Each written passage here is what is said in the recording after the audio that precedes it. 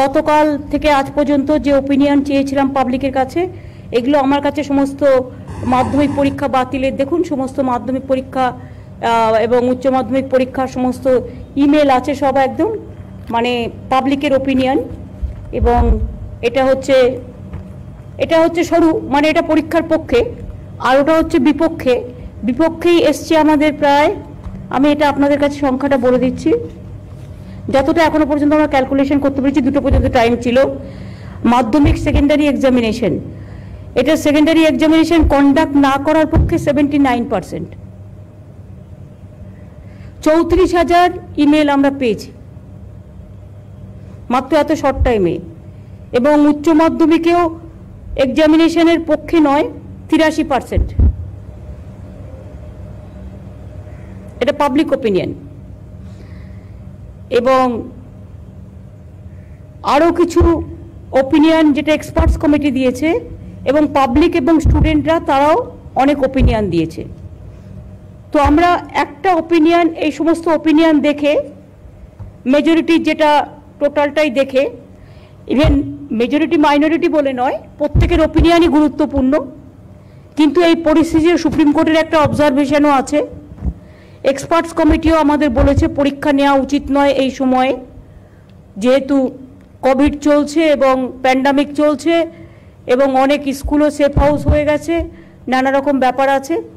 এবং তাই আমরা মাধ্যমিক আর উচ্চ মাধ্যমিক পরীক্ষা নিচ্ছি না, কিন্তু ইভালুয়েশন নাম্বারের কীভাবে হবে স্টুডেন্টদের যাতে কোনো প্রবলেম না হয়, সেটা মধ্যশিক্ষা পর্ষদ উচ্চ শিক্ষা পর্ষদ এবং এডুকেশন সেক্রেটারি এখানে আছেন। তারা নিজেরা বসে এডুকেশন ডিপার্টমেন্ট ইভালুয়েশনটা কি করে করবে? এক্সপার্টস গ্রুপের একটা ওপিনিয়নও আছে, কিন্তু সেটা দেখে নিতে হবে যাতে বাচ্চাদের অসুবিধে না হয়।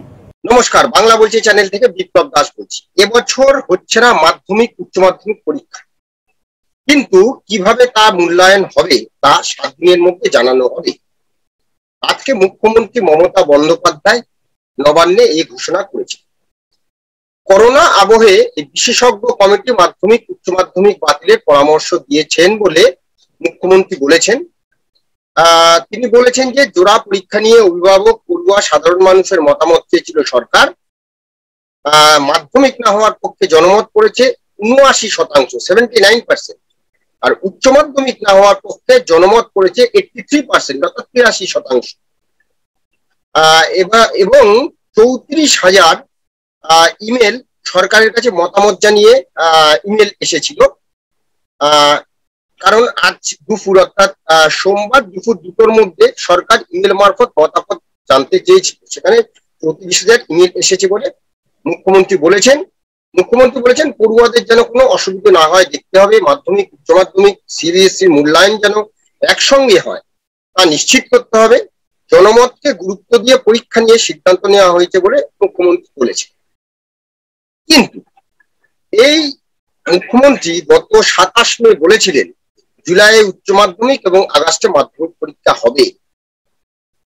কিন্তু তার পরপরই কেন্দ্রীয় সরকার ঘোষণা করে যে দশমের পর সিবিএসসি দ্বাদশ আইএসসি পরীক্ষা বাতিল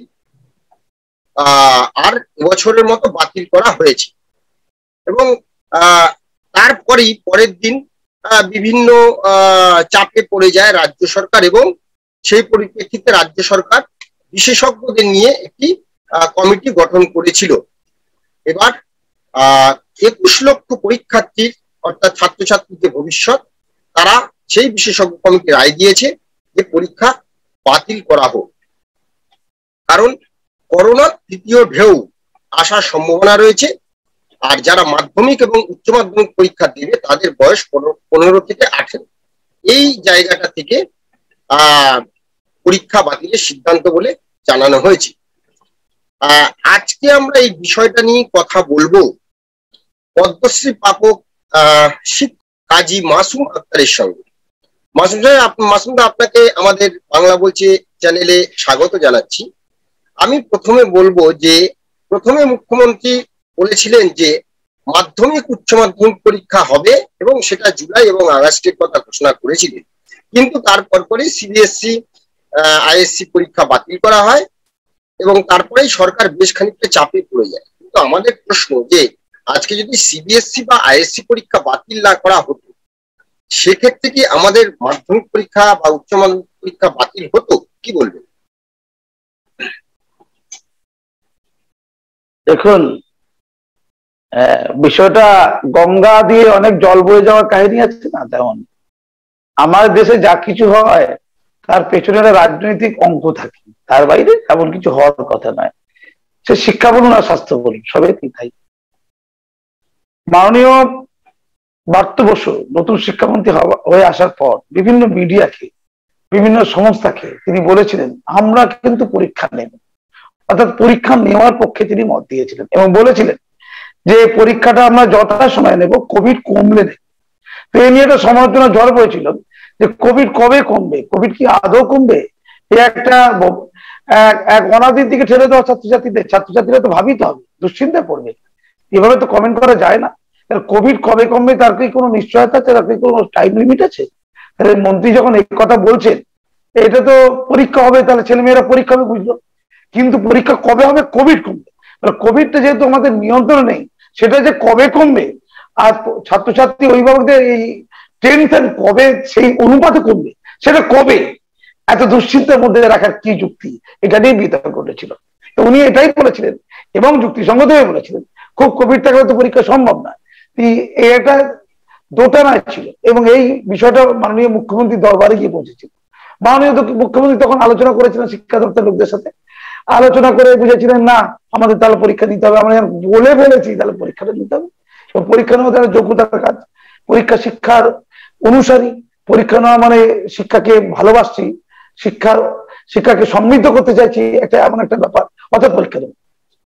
তো যথারীতি জুলাই আগস্ট মাস প্রথমে উচ্চ মাধ্যমিক হবে, যেটা রীতিবিরুদ্ধ, তারপর মাধ্যমিক হবে। কারণ উচ্চ মাধ্যমিক তাদের করতে হবে কারণ তাদের কলেজ ভর্তি হতে হবে ইত্যাদি ইত্যাদি যুক্তি করে একটা সময় ঘোষণা করা হয়। এবং পরীক্ষার যে টোটাল নাম্বার সেটাকে অর্ধেক করে দেওয়া হয় সময় অর্ধেক করে দেওয়া হয় ইত্যাদি করা হয়। এবং তারপর ঠিক করা হয় যে কোন কোন ডেটে কীভাবে হবে সূচি টুচি ইত্যাদি নিয়ে ডেট বলা হয়। আপনার ওই হেডফোনের এটা না একটু তুলে কথা বললে আরও ক্লিয়ার হবে। ওইটা এই যে যেখানে হ্যাঁ হ্যাঁ হ্যাঁ। এই অংশটা কেটে দেবেন তো? হ্যাঁ বলুন বলুন বলুন। বলুন। তো এইটা হওয়ার পর সরকার এটা ভেবেছিল যে পরীক্ষাটা হবে এবং পরীক্ষার সূচি। এইটা যেদিনে ঘোষণা করার কথা তার আগের দিনে প্রধানমন্ত্রী সামনে থেকে সিবিএসসি এবং আইএসসি তাদের সাথে বৈঠক হয় এবং জনস্বার্থ মামলা করে সুপ্রিম কোর্টে যে এই কোভিড প্যান্ডামিক সিচুয়েশনে যদি পরীক্ষা হয়, তাহলে কিন্তু অজস্র ছেলে মেয়ে তারা কোভিডে আক্রান্ত হবে। মানুষের জীবন আগে না শিক্ষা আগে। এই মর্মে যখন বিতর্ক শুরু হয়ে যায়, তখন প্রধানমন্ত্রী সিবিএসসি বোর্ড এবং আইসিএসসি বোর্ডের নেতৃত্বের সাথে বসে এবং প্রধানমন্ত্রী তখন জানায় যে পরীক্ষা কোনোভাবেই নেওয়া যাবে না। বিকল্প মূল্যায়নের মাধ্যমে তাদেরকে মার্কস দিতে হবে। তাদেরকে এবছরটার জন্য অন্তত ক্ষমা দিতে হবে। পরীক্ষা দেওয়া যুক্তিসঙ্গত নয় কেসটা সুপ্রিম কোর্টে যায় সুপ্রিম কোর্ট থেকে জানতে চায় যে আপনারা যে পরীক্ষা নেবেন না, কীভাবে পরীক্ষা তাহলে কীভাবে মূল্যায়ন করবেন, সেটা দু সপ্তাহের মধ্যে জানাতে হবে। এই অবস্থায় যখন পড়ল, গোটা ভারতবর্ষ তখন আন্দোলিত হলো। কারণ সিবিএসই হচ্ছে এমন একটা বোর্ড, সেন্ট্রাল বোর্ড, তারা ভারতবর্ষের প্রতিপক্ষিতে সেই দিকেই চলে। এবং সিবিএসই বোর্ডের পাশাপাশি আইসিএসসি বোর্ড রয়েছে আইএসসি বোর্ড রয়েছে। তো এই যে জায়গাটা, তারপরে বিভিন্ন রাজ্য তারা ভাবনা চিন্তা করল যে যদি সিবিএসসি বলে এবং প্রধানমন্ত্রী যদি পরীক্ষার বিপক্ষে মত দেয়, তাহলে আমাদের পরীক্ষা না নেওয়া উচিত, ঝুঁকি হয়ে যাবে। এই ঝড় এসে পৌঁছায় পশ্চিমবঙ্গে। মাননীয় মুখ্যমন্ত্রী দুশ্চিন্তা পড়েন যে আমরা তো পরীক্ষা নেব বলেছি, তাহলে ভারতবর্ষ যদি পরীক্ষা না নেয়, আর আমাদের রাজ্য যদি পরীক্ষা নেয়, তাহলে তো একটা উল্টো হতে পারে। ধরুন পরীক্ষা হলো আর প্রচুর লোকের কোভিড হয়ে গেল, প্রচুর ছাত্রছাত্রী এফেক্টেড হয়ে গেল। সে দায়িত্ব নিতে হবে। রাজনৈতিক দৃষ্টিকোণ থেকে সেটা তো যথেষ্ট ক্ষতিকর এবং মানবিক ও সামাজিক ও শিক্ষা দৃষ্টিকোণ থেকে সেটা ক্ষতিকর। তখন মাননীয় মুখ্যমন্ত্রী একটা নতুন ভাবলেন যে তিনি যদি এক্ষুনি বলে দেন যে প্রধানমন্ত্রী যখন বলেছেন, কেন্দ্র সরকার যখন ভাবছেন সিবিএসসি আইএসসি যখন বলছে, তাহলে আমরা পরীক্ষা নেব। এটা যদি বলে দেয় তাহলে এমনটা হওয়ার সম্ভাবনা এর মধ্যে একটু পলিটিক্যাল টুইস্ট আছে বলে মনে হচ্ছে। যে প্রধানমন্ত্রী বা কেন্দ্র সরকার বলেছে আমরা পরীক্ষা নেব না। এই কথা বলা মানে প্রধানমন্ত্রী যা বলছে তাকে ফলো করা তাকে তার সমগোত্রীয় কথা বলা। তো আমাদের রাজ্যের একটা এমন হারে দাঁড়িয়েছে কেন্দ্র যেদিকে বলবে রাজ্য তার উল্টো দিকে যাবে। এটা তাহলে বচ্চন। হ্যাঁ একদম ঠিক বলেছেন। কিন্তু আমরা বলছি যে দেখুন আজকে সরকার বাধ্য হয়ে একটা কমিটি গঠন করতে হয়েছে এবং সেখানে আমি- আমি ওই জায়গাটা আসছি ওই জায়গাটা হ্যাঁ। তখন তখন রাজ্য সরকার বুঝলো তাহলে কি করা যায়? মাননীয় মুখ্যমন্ত্রী বার্তাবাবুদের সাথে বসলেন আমি ধরে দিচ্ছি আমি তো দেখিনি কে কার সাথে বসেছেন বসে ঠিক করলেন তাহলে একটা কাজ করা যায়। এই পরীক্ষাটা হবে কি হবে না? সরকার দায়িত্ব নেবে কেন? সরকার তো সমালোচনা শিকার হতে পারে কারণ আমরা তো পরীক্ষা হবে বলেছিলাম। আমরা সেই সমালোচনা নেব কেন? তাহলে একটা বিশেষজ্ঞ কমিটি করে দেয় এবং তারপরেই আমরা জানতাম বিশেষজ্ঞ কমিটি ছজনে, ছজন তো সরকারি লোক বলা যায় ঘুরি ফলে। আলটিমেটলি এটা হবে না। এবং আমি একটা চ্যানেলে বসি, সেই চ্যানেল একটা রিভিউ করেছে যে গার্জেন ছাত্ররা কি বলছে। আর আমি জানি কোন ছাত্রছাত্রী মানে ম্যাক্সিমাম ছাত্র যদি প্রস্তুত না পরীক্ষার জন্য। আমি গতকালকেই চ্যানেলে বলেছি গতকাল কি যে আশি থেকে নব্বই শতাংশ ছাত্রছাত্রী পরীক্ষার বিপক্ষে এই যে মূল্যায়ন হচ্ছে আজকে হ্যাঁ। বেলা দুটোর সময়ের মধ্যে যে আমি- report আমি- ছোট্ট করে বলছি আপনার আজকে পরীক্ষার বিপক্ষে পার্সেন্টেজ হচ্ছে সেভেন্টি নাইন পার্সেন্ট মাধ্যমিক না হওয়ার পক্ষে মত দিয়েছে আর উচ্চ মাধ্যমিক না হওয়ার পক্ষে মত দিয়েছে এইটটি থ্রি পার্সেন্ট হ্যাঁ বলুন। আচ্ছা আচ্ছা আমি মাসুম আক্তার একজন ব্যক্তি একজন শিক্ষক। হ্যাঁ। আমি গতকালকে চ্যানেলে বলেছি আশি থেকে নব্বই শতাংশ ছেলে মেয়ে প্রস্তুতি। নেয়নি তারা পরীক্ষার বিপক্ষে থাকবে আর। দশ শতাংশ ছেলে মেয়ে তারা প্রস্তুতি নিয়েছে তারা পরীক্ষার পক্ষে থাকবে। ওদের এত গবেষণা লাগে না। আমাদের মতো লোক একটু খোঁজ খবর রাখে। কালকের বক্তব্য মিলে গেল। এরপর যেটা হচ্ছে আমার একটা আপত্তির কথা আছে। আমি কালকে মিডিয়াতেও বলেছি যে বিশেষজ্ঞ কমিটি যেটা তৈরি করা হয়েছিল তাতে হায়ার সেকেন্ডারি কাউন্সিলের সচিব ছিলেন। আমাদের প্রেসিডেন্ট ছিলেন মধ্যশিক্ষা পর্ষদের যদিও তিনি প্রেসিডেন্ট নন তিনি প্রশাসক। এই শব্দটা নিয়ে আমার আপত্তি আছে। কারণ এখন যেমন কলকাতা পুরসভা প্রশাসক চালাচ্ছেন তেমনই West Bengal board of secondary education প্রশাসক চালাচ্ছেন। কল্যাণময় গাঙ্গুলি উনি প্রশাসক উনি প্রেসিডেন্ট না। সবাই থেকে প্রেসিডেন্ট বলে। আর এক্সপার্ট কিছু নেওয়া হয়েছে, স্বাস্থ্য বিভাগের দু একজনকে নেওয়া হয়েছে। কিন্তু মাদ্রাসা বোর্ডের প্রেসিডেন্টকে নেওয়া হয় আমি এটা আপত্তি করেছি। তিনটে বডি সমান মর্যাদার, সমান শিক্ষিত, সমান ছাত্রছাত্রী, সংখ্যা কম হতে পারে।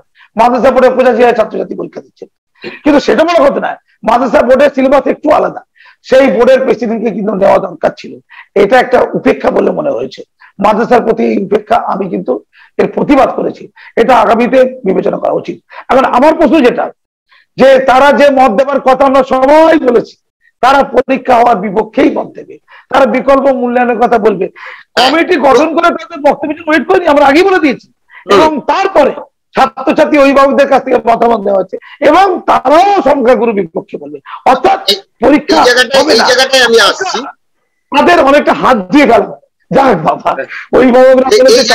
আসছি যে ছাত্রছাত্রী এবং অভিভাবক এদের মতামত তো আগেই নেওয়া হতো বা বিশেষজ্ঞ কমিটি। এটা তো মনে হয় আগেই করা উচিত ছিল। কারণ সরকার ভেবেছিল যে একমাত্র পশ্চিমবঙ্গে পরীক্ষা আমরা ঘোষণা করলাম এটা বলা হয়েছিল।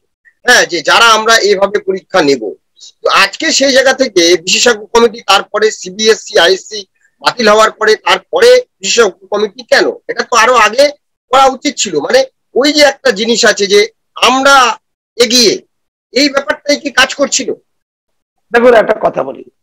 একটা কথা বলি। সেটা হচ্ছে, সুপ্রিম কোর্ট মহামান্য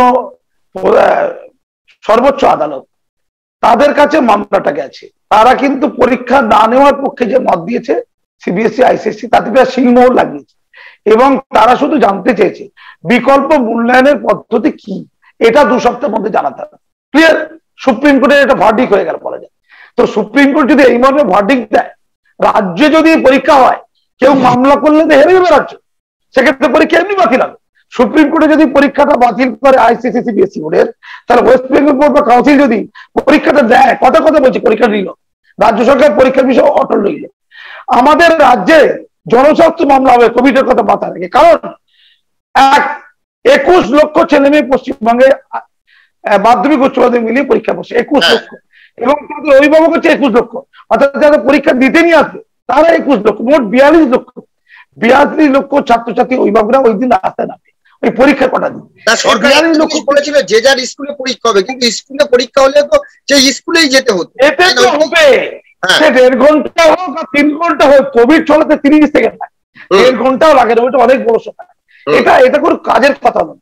কাজের কথা হচ্ছে দু ডোজ দু ডোজ করে প্রত্যেককে কিন্তু ভ্যাকসিন দেওয়া দরকার ছিল। দু ডোজ করে কাদেরকে?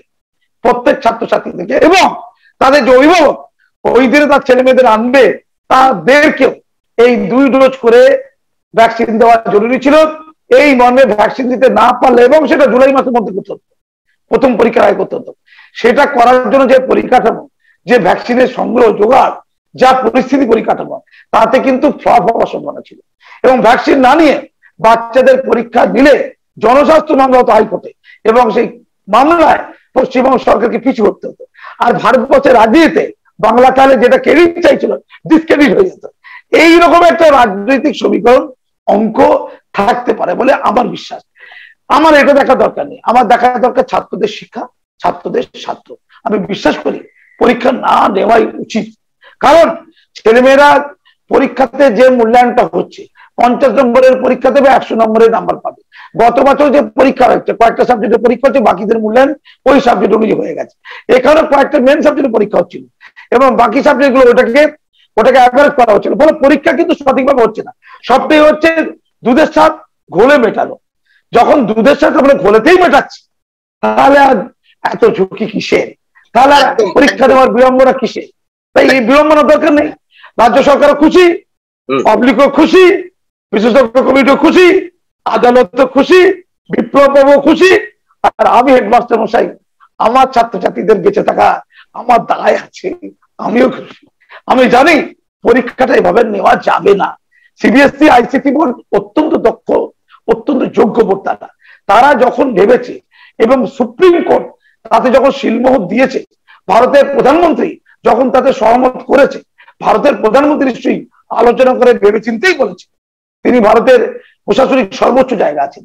তাহলে বুঝতে হবে, তার পেছনে কিছু কারণ আছে। এবং তারা যে সঠিক বলেছে ছাত্র ছাত্রীরা অভিভাবকরা, যে বেল করে যে কমেন্ট পাঠিয়েছে এইটি পার্সেন্ট মোরালেস এইটি পার্সেন্ট তারা পরীক্ষার বিপক্ষে বলেছে। এবং বিশেষজ্ঞ কমিটি তারা পরীক্ষার বিপক্ষে বলেছে। এটাই বাস্তবতা, এটাই সত্য।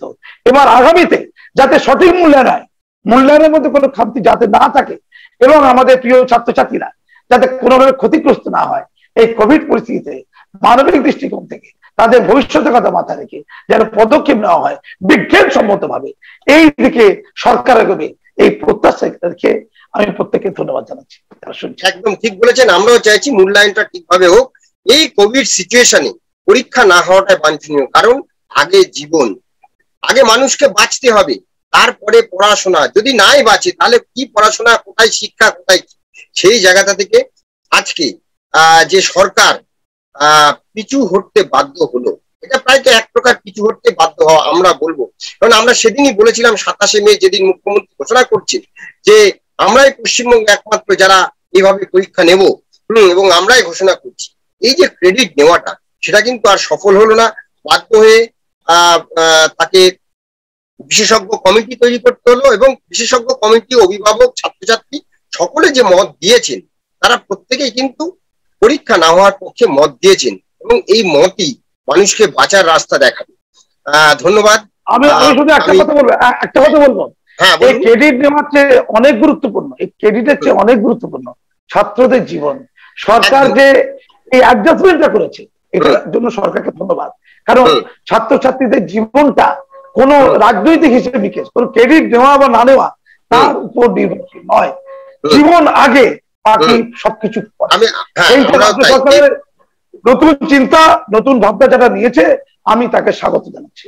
হ্যাঁ একদম আমরা ওই যে সরকারের আহ, ঠিকঠাক মতামত মানে ঠিক জায়গায় অবশেষে যে আহ, শুভবুদ্ধি উদয় হয়েছে এই জন্যই সরকারকেও ধন্যবাদ। ধন্যবাদ আপনাকেও। আপনার ছাত্রছাত্রীরা প্রত্যেকেই এই বিষয়ে খুশি হবে। কারণ কোভিড সিচুয়েশনে প্রত্যেকের মধ্যে একটা আতঙ্ক কিন্তু আমার একুশ লক্ষ হ্যাঁ। ছাত্রছাত্রী কিন্তু আমার মনে করি। আমি হ্যাঁ, হ্যাঁ। আমার মনে করি। একদম আমি গোটা বিশ্বের ছাত্রদের আমার ছাত্র মনে করি গোটা পৃথিবী এটা একদম আজকে ধন্যবাদ। মনটা আমরা আজকে এখানেই শেষ করছি। নমস্কার আপনারা সবাই ভালো থাকবেন।